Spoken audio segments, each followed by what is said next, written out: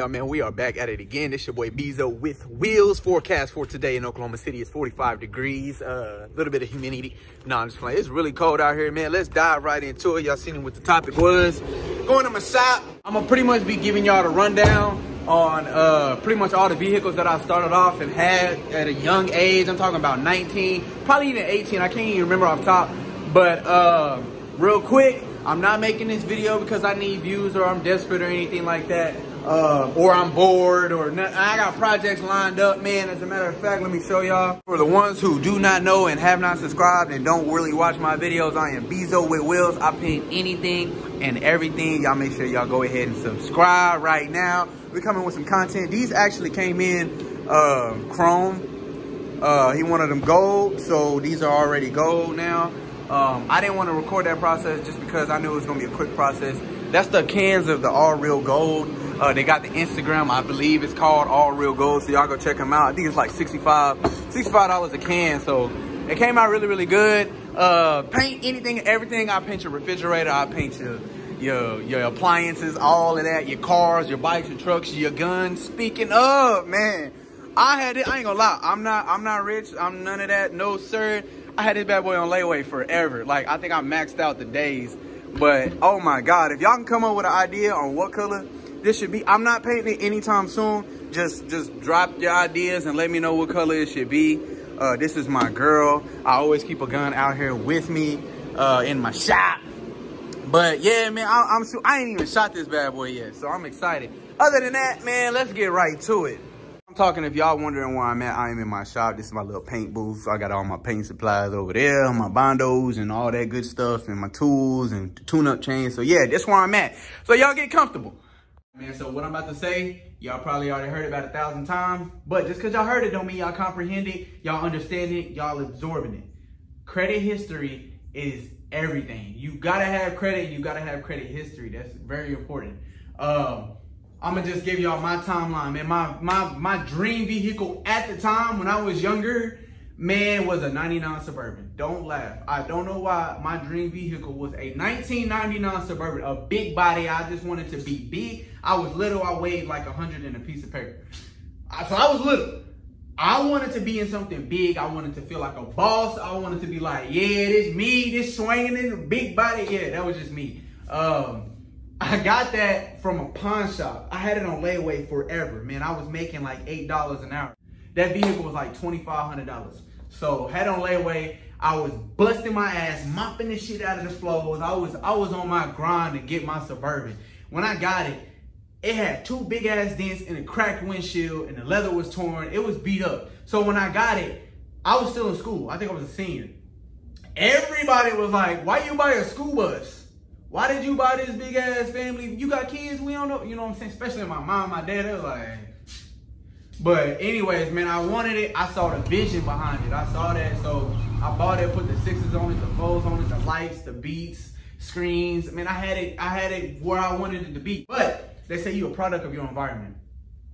Everybody around me started getting motorcycles. So it all started from when I got this motorcycle. So I got the uh um, everybody around me was getting motorcycles. They started motivating me. So I'm like, damn, like I want a motorcycle. So I went to, I think I was, trying, I went to the bank or I went to a motorcycle lot, found one I liked, and I was like, yeah, I'm trying to get this bike. They was like, yeah, okay, cool. You got any credit? I was like, no, I don't, I don't know. Like they was like, all right, they ran my credit. They was like, yep, nope, you can't get it. You need a cosign. I'm like, damn. So I'm gonna get this cosign. What is cosign? So I'm looking up cosign. I'm trying to get uh, just real quick, cosign is basically like, like if you want a loan and the bank tell you you need a cosign and my credit is good, you could come to me and I could get you the cosign to get you the bike.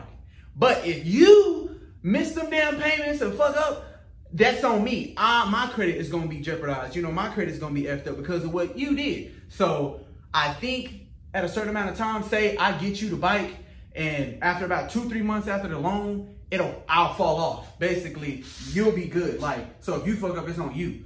But anyway, so my dad ended up giving me the cosign because my mama, my mama wouldn't. she was like, you can get out of my house before you get that bike. And I was like, I bet. And I think like a few months later, I moved out and, and I got my bike because my dad co-signed for me. So my dad co-signed for me and that's where it all started. That's when the gates, that's when a pimp came out. Now I was like, um, but So I got the bike. I don't even care about what it did to my credit. I don't care about nothing. The only thing I really care about is me ride my bike and my ass, because my dad was like, if you don't pay then that's your ass. It's fair ones. Like, so I was making sure my payment was on time strictly because I didn't want my ass to get whipped. Like, that was my main concern, and I was having fun, and I just didn't want no payment. So I was trying to hurry up and pay it off. I paid it off about a year, or however long it took, and um, I didn't care. I mean, I was just like, okay, I got my bike, it's paid off, I'm cool. I didn't realize what it did to my credit. I didn't pay attention to none of that. I'm rocking the bike, and then everybody's losing their interest in bikes. So I'm now I got my bike, so I'm like, damn, like I got my truck, I got my suburban, okay, cool, and I got my bike. Now what? Like everybody around me like, okay, man, we into sports cars. We getting SS's and Camaros and speed demons and stuff like that. And I'm the only one with the bike, and I got my big body. I'm cool. I'm grateful, but at the time, I'm like, damn, like I'm trying to get it. I'm trying to get SS or something. Let me get an SRT. So I'm rocking by myself as long as I could. And then I'm like, okay, so I've been, I drive past this, this car lot every day at work and I see this charger. I'm like, I gotta go check it out. So I pulled in the lot, go check it out. I'm looking at it, drive the, the lot people come out, hey, you, you like it? I'm like, yeah, it's cool. And then it was like, you interested? One, I'm like, I can't even get it. I can't afford it, none of that. So I, mind you, I went to this car lot three different times just to look at it. And the third time I was like, all right, man, what I gotta do to get in it? And they explained, they was like, okay, uh, you got any credit? I was like, nah, I don't even know what that is. Like, and they was like, all right, they pretty much just ran my credit score. And they was like, bro, if you if you could come up with $3,500, this yours. And I was like, huh? But I'm thinking like, nah, where am I gonna get $3,500 from? And I was like, they was like, man, we take trades. And I was like, trades? So I looked at the Suburban and I was like, yeah, man, this mug on sixes, like got the lights, got the beats. Let me show you this, let me show you that. And they was like, nah, I get it, it is really nice, but they was like, it, they was like, Miss Betsy's not gonna come here and want a 99 Suburban on sixes. So I understood. I was like, damn. They was like, if you can sell this truck and come back with the cash, it's yours. So I'm like blown away. I'm like, all right, I feel like I'm in the science lab. Like, cool. So I, long story short, I sold the truck. I sold the truck for like $4,500. And did somebody drop me off at the lot? I think, uh, I think like $4,500. I think somebody dropped me off at the lot. I said, all right, see you later, brother. uh, and I went in there with cash, $4,500, and gave him 35 and I drove off in my new SRT. So keep up with me. That that cosign, that little cosign got me into a $16,000 car. And I and I was super, I did, I promise you, I did a damn donut off the lot. I'm 20. I'm 20. Like I'm cheesing ear to ear. I can't believe it. It feel like I got a Ferrari in the neighborhood. Like, cause where I'm from, like it, it, it's kind of rough out there. So if you in, I'm 20, yo. Like I'm 20 in an SRT. Like I'm having fun in my neighborhood. Like, and I rock it for a cool period of time, and then all the old heads like, man, you throw some dub ballers on that man. Whoa, oh, boy, you put some ballers. So I'm looking at rims and brands and stuff like that. So I'm into all of that now. Like I'm in the car game now. Like yeah, yeah, big boys and big OGs looking at me like yeah. Anyway, so long story short, I drove to Texas. I was not trying to. I knew I couldn't get these wheels. I just went down there. To, everybody was talking about Omar's wheels. They were like, man, Omar wheels, man. You, just gotta go look, bro. Just go look. I'm like, all right, bet. So we drive three hours from Oklahoma City. I get there. Uh, big timers there. I'm like, ooh, 4Gs? What's the F? Ooh, all right, all right, cool. Like, so you know what I'm saying? And they were like, you see some wheels that you like. I was like, I ain't gonna lie, man. I like these double ballers. Everybody keep telling me to get them. They were like, but double ballers on the SRT? Yeah, you you a big time and you do that. Long story short, they was like, man, hop on the computer. Let's just let's just let's see. Because they were asking me about credit. I was like, I think credit got me this car. Like I did not, I'm young, like, you know what I'm saying? I'm young and dumb. So I sit down at the computer. Long story short,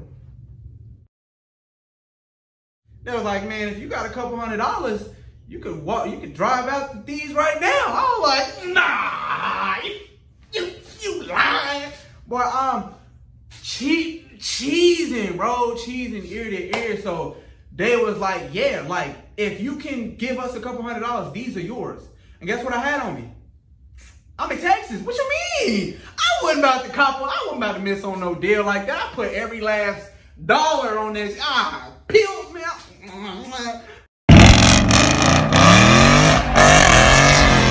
I drove back with my dub. I was broke as hell, but I was clean in the beard. I clean though. I was clean. That's all that mattered. Young and dumb though. Like I'm telling you, I was 20. I was, uh, yeah, I was 20. I was 20 because I had my green and black bike matching my green and black car. So, and I, I'm telling you, I was, I felt unstoppable. I felt like Life Corey. Like, give me, give, give me, give me a second. Like, anyway, so I was, I, I needed that time to shine. Like, anyway, so I felt good. So I rocked it. I rocked it for a while. And then my daughter was born. I sold my bike. I ended up starting at Tinker Air Force Base. So I'm really dope coming in now. Like, I'm, True Religion jeans, 350 that ain't shit. Give me them. Uh, Gucci belt, give me them. I'm having. I'm, I'm blowing my money. Like, I'm I'm just having fun though. As a kid, my, my daughter born, I sold the bike. I'm up like ah, you know what I'm saying. So, but this is just me being real. I'm speaking to y'all for real. Like, so I had just the SRT, and then we got some apartments. We got into our apartments, and then uh, everybody was talking about the 392. I'm like, damn, like trying to keep up with everybody. I'm like, nah. If I do this, I'm doing it for myself. Like, so I'm I'm, t- I'm hearing everybody talk about the 392, these mugs is bad, these 475 horses, or some shit like that. So I'm like 65 horses, and then um, I had emailed this lady because I seen it a lot, and I was like, I'm just curious. I don't want to get in it. I don't want nothing. I don't want to. eat. I don't even want to buy it. Nothing. I just want to look at it. I just want to see. She said, Yeah, y'all come up here. She said, Yeah, come up here and look at it. I looked at it. I went. As soon as I went to the lot, she Kid you not, Soup tossed me the keys. It sounded like a movie, it sounded like some bullshit, but I really caught the keys and everything. Like, she threw them and I was like, she was like, yeah, go ahead. Cause she saw me pull up in the SRT. So she like, yeah, I'm, I'm mm, get this. Anyway, so I went around the block. I swear to God, I went to a church. Damn, that sound bad. I swear to God. And I said I went to the church. I'm sorry, Jesus. I went to a church and I did the biggest donut just to see, cause that's how I am. I gotta see. I, but by then I knew how to drive. Like I'm talking about, like I can sit at a stoplight, do about three three donuts and then take off, or I can drift the whole like not to boost or brag or anything like that. But I I just know how. So I just did all. I did what I could to the car and I was like, yeah, I want it. Went back to the lot and I was like, yeah, but the thing is, I was like, I don't know if I can even afford it with the with the bam and and man, she sat me down, and I kid you not, I promise you, on everything I love, I drove off in a 392. 392. Look at the seats. Look at the seats. Look at the dads, but Look at the seats. Look at the dads, but Look at the seats. I'm in that 392. What you mean? I'm in it. Ooh.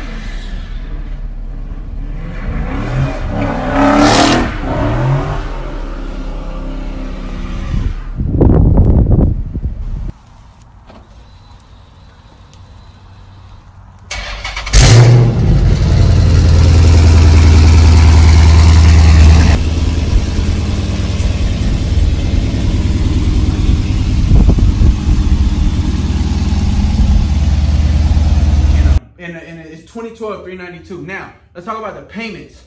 The payments for my green the, the first the first srt the 6.1 liter i was paying three i think i was paying 328 328 my insurance at my age i think i was paying a lot. I was paying like i think it started off at 250 but i kept getting tickets. I already had tickets so don't let that discourage you.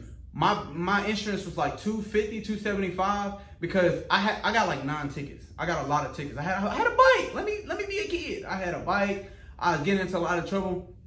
So my t- uh, so insurance was two about 275 it did go up to 350 my insurance did go up to 350 on that 6.1 liter. That was a 06 um and my payments was 328 and then um when i got my new charger my payments was uh, I think I was upside down by a very little, like worth it. Like it, they was like, nah, you. I know people right now paying six, seven hundred dollars for a 392, and I had a 2012. It was it was loaded, like it was fully, fully loaded. Um, I, my insurance for that was, I think it was like 300, and then my my car payment was five. It was like 518, and then I think she said I, I forgot. It ended up going down right before I sold it. It ended up going down. So I was paying like 490 something.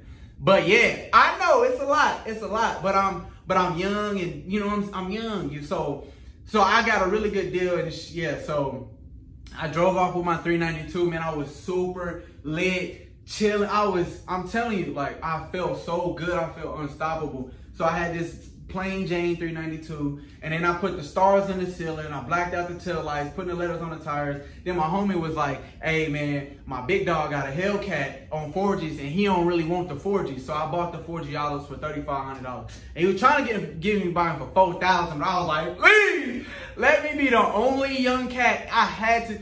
I want to know who else was on Forgiatos in a 392 in Oklahoma City on my age. I was 20. I was 22. I was 22. I was 22 when I had my 392 on Forgiatos.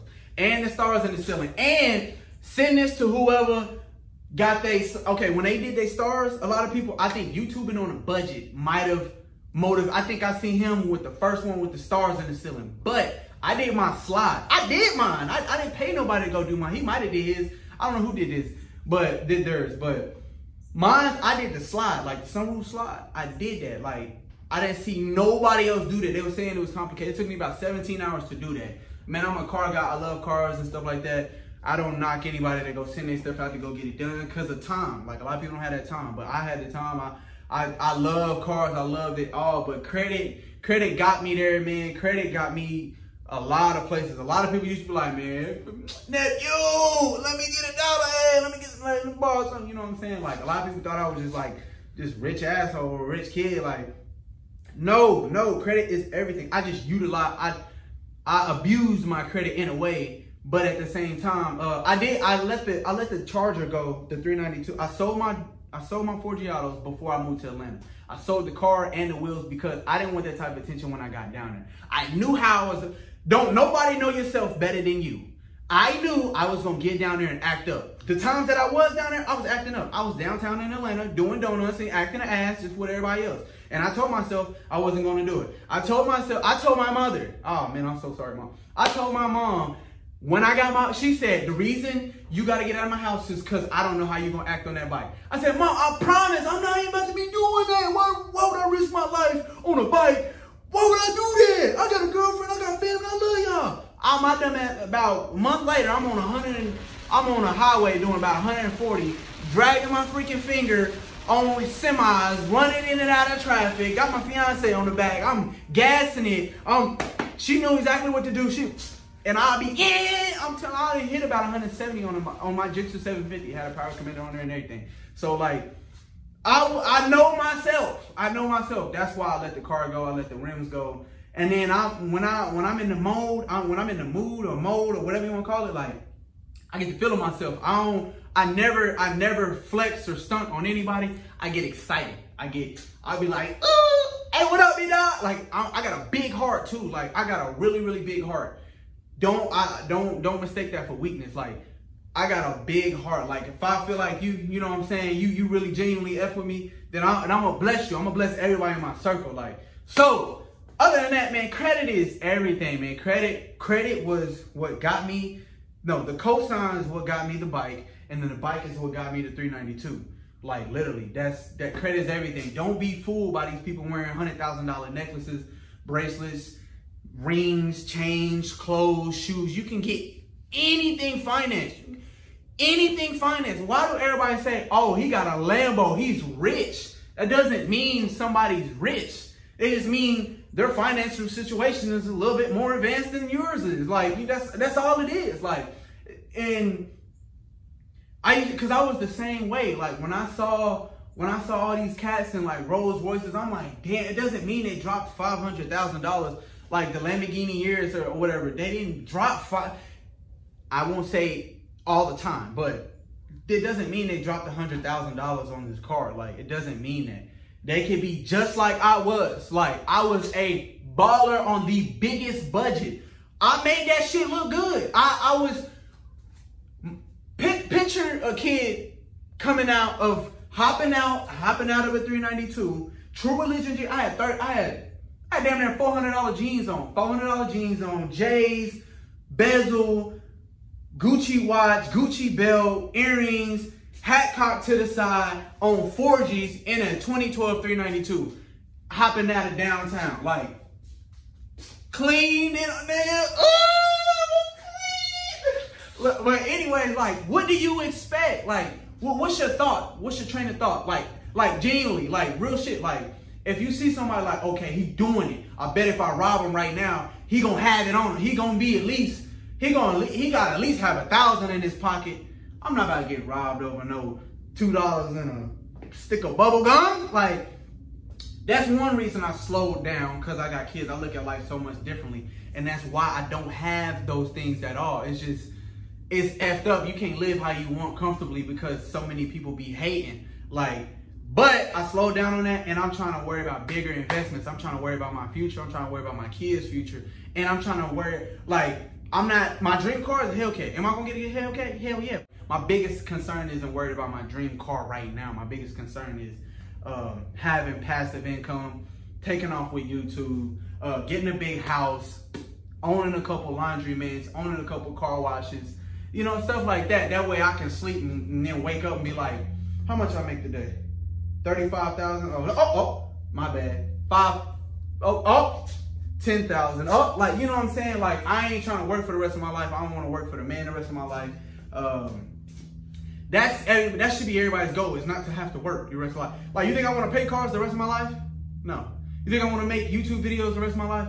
No. I want to wake up and do whatever I want and still get that same income for the rest of my life from just doing my daily stuff that I love doing. You know what I'm saying? So I encourage y'all. Credit is everything, man. If this video, I hope if you take anything from this video, um, I'm like I said, I don't want to mislead you. I don't know about anything about the credit cards, but find somebody you love or somebody that love you genuinely enough, you know what I'm saying? So just get a small little cosign, rock it for about a year, and then you'll be surprised on where that amount of credit could get you. Like, so for sure. Uh, please leave it in the comments. I don't know everything. I'm not a financial advisor. I'm not none of that. Um, I'm just giving y'all from what I've experienced and what I've gone through um, to hopefully I can motivate you guys and to go a different route or you know what I'm saying. So appreciate y'all watching. Y'all make sure y'all like, comment, and subscribe. Man, we got some more projects on the way. I got knocked. These are done. As a matter of fact, I think we got another car coming in uh, within about two days. Other than that, just chilling, chilling with the kids. Y'all have fun. Like, comment, and subscribe. We out.